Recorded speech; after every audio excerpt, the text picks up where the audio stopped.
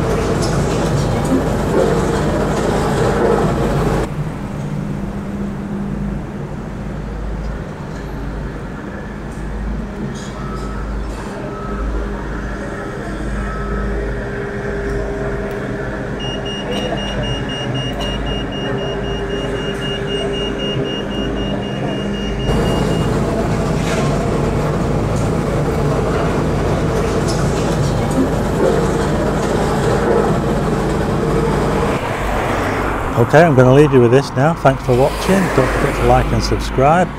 I'll do my best to bring you some more on the Wilko demolition. Um, don't forget to hit the bell for notifications of new videos and I will see you again on the next video. Thanks for watching.